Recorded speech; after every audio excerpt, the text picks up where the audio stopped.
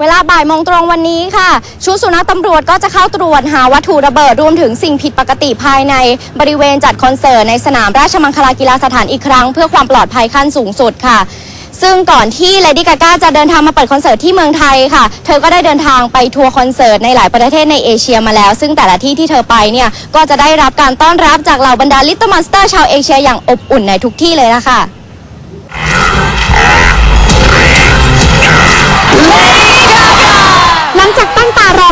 ในที่สุดเหล่า Little Monster Asia ก็ได้เฮครั้งใหญ่เมื่อนักร้องสาวมั่นเลดี้กาก้าประกาศทัวร์คอนเสิร์ตทั่วเอเชียเป็นครั้งแรกค่ะ โดยเริ่มเปิดฉากที่เกาหลีใต้ ก่อนจะเดินสายไปยังประเทศอื่นๆ ทั้งฮ่องกง ญี่ปุ่น ไต้หวัน สิงคโปร์ ฟิลิปปินส์ อินโดนีเซีย รวมถึงประเทศไทย ซึ่งกระแสตอบรับของเหล่าสาวกเลดี้กาก้าในแต่ละประเทศ ก็เรียกได้ว่าถล่มทลาย อย่างที่ฮ่องกงนะคะก็ถึงขั้นเพิ่มเป็น4รอบ ส่วนบัตรคอนเสิร์ตที่ไต้หวันก็หมดเกลี้ยง แม้ราคาบัตรจะสูงปรี๊ดถึง 12,000 บาทก็ตามค่ะ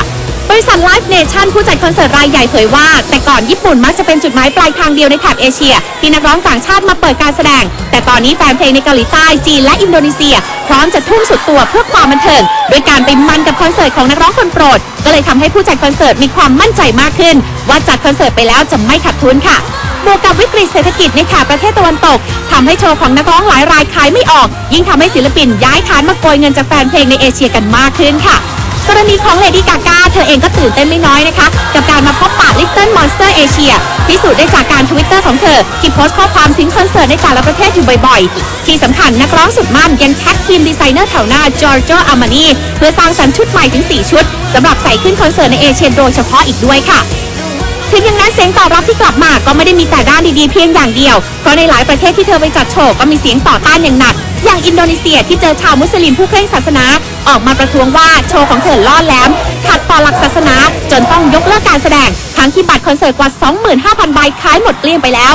ขณะที่เกาหลีใต้และฟิลิปปินส์แม้คอนเสิร์ตจะผ่านไปได้ด้วยดี แต่ก็ไม่วายมีกลุ่มคริสเตียนผู้เคร่งครัด รวมตัวประท้วง ด้วยเหตุผลเดียวกันว่าโชว์ของเธอล่อแหลม จนคอนเสิร์ตในเกาหลีใต้ต้องวางมาตรการให้เด็กอายุ 18 ปีขึ้นไปเข้าชมคอนเสิร์ตได้เท่านั้น ส่วนที่ฟิลิปปินส์นะคะก็มีกลุ่มชาวคริสเตียน มาเดินขบวนต่อต้าน3วันล่วงหน้าจนถึงวันคอนเสิร์ตแต่เป็นโชคดีที่เจ้าหน้าที่พิจารณาแล้วเห็นว่า โชว์ของสาวกาก้าไม่ได้ส่อไปในทางอนาจารหรือลบหลู่ศาสนาอย่างที่กังวล ทุกอย่างจึงจบลงแบบ happy ending ค่ะ